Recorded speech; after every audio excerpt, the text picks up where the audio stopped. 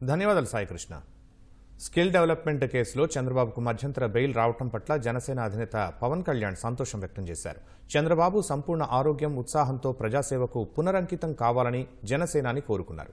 చంద్రబాబు అనుభవం రాష్ట్రానికి ఎంతో అవసరమన్న పవన్ ఆయన విడుదల కోసం కోట్లాది మంది ఎదురు చూస్తున్నారన్నారు